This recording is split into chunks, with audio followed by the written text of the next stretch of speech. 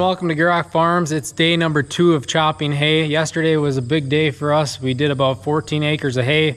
We got a bunch cut and uh, we got a good start to the pile. And uh, today we got about 28 acres to chop, so double the amount of acres to chop, but uh, we got most of the extra stuff out of the way. And uh, we should be able to start here nice and early.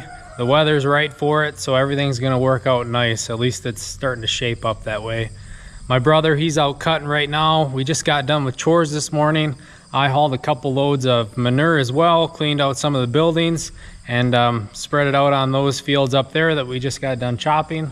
I'm gonna pack a little here right away on the pile just to kind of firm things up and um, give us a nice pile to start on right away. But before we get started, I want to remind you guys that if you haven't already, make sure to subscribe. It helps us out a lot. Uh, majority of the people that watch haven't subscribed yet, so hit that subscribe button if you want to see more of us, and uh, also hit the thumbs up button if you enjoy.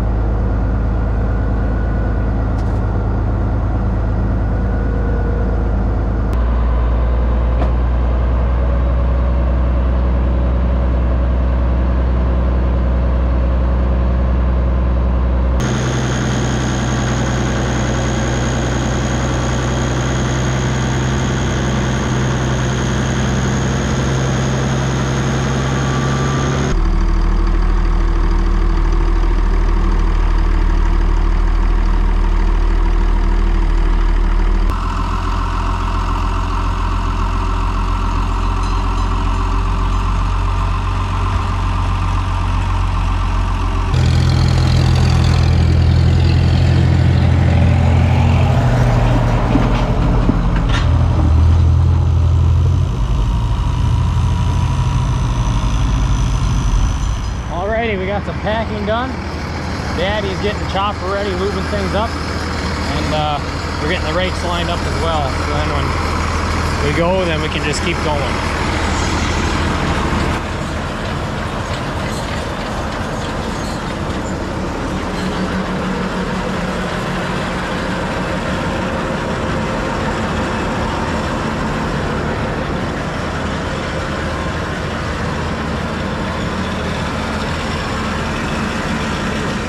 Before I forget, I wanted to let you guys know that we have a drone coming out here today, so we should get some really nice footage of the chopper going. He'll be out here later this afternoon. And if you guys were looking for some drone work, I'll uh, link them down below. If you're at all in the western Wisconsin type region, eastern Minnesota, I'd uh, go check them out if you're interested in some photography or some drone work. They're a really nice couple that does everything from portrait photos to drone work. So go check them out.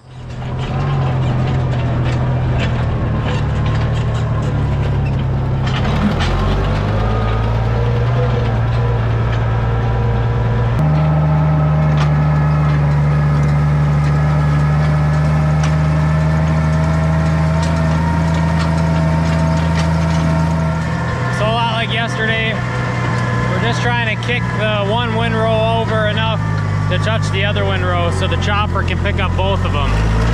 So we're doubling it, but we're not flipping both of them completely over because we don't need them to dry as fast as we would if we were baling. It should go pretty fast up here raking today because we have both the rakes going. I'm driving the 1650 Oliver and then my daddy's driving the, the Super M-TA. So everything should go pretty quick It's gonna dry fast. We're gonna get a nice early start to chopping. Should have a pretty solid day.